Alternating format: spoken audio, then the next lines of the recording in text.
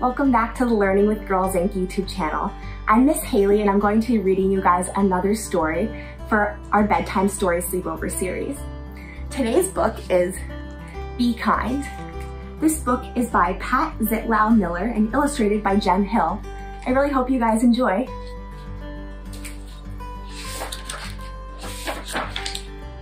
Tanisha spilled grape juice yesterday. All over her new dress. Everyone laughed. I almost did too, but mom always tells me to be kind, so I tried. I didn't think it worked, I said. Purple is my favorite color. I thought Tanisha would smile, but she ran down the hall instead. When she came back, snack time was over, she put on her art smock and didn't look at anyone. I almost told Tanisha that art was my favorite class, but I didn't want her to leave again, so I painted purple splotches and added some green until I had a bunch of beautiful violets. When I painted, I thought about Tanisha. Should I have handed her my napkin? Let her borrow my sweatshirt? I spilled my juice so everyone stared at me instead? What does it mean to be kind anyway? Maybe it's giving. Making cookies for Mr. Rinaldi who lives alone. Letting someone with smaller feet have my too tight shoes. He might win races in them too. Maybe it's helping, putting dirty dishes in the sink.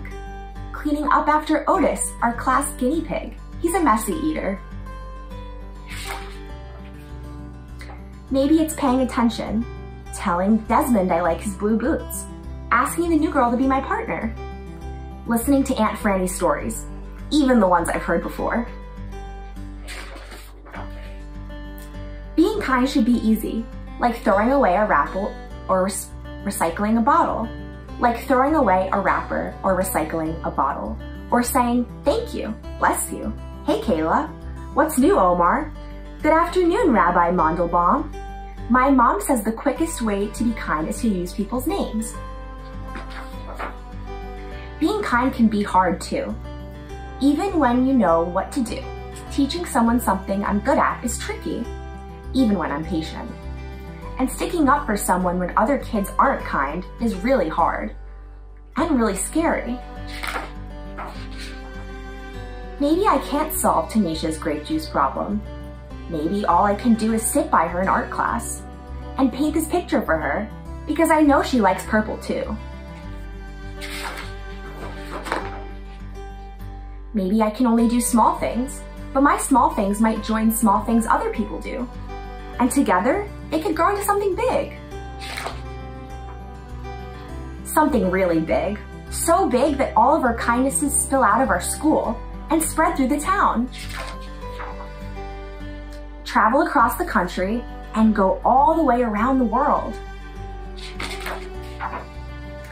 Right back to Tanisha and me, so we can be kind again, and again, and again. The end. I really hope you guys enjoyed that story called Be Kind by Pat Zietlow Miller and illustrated by Jen Hill.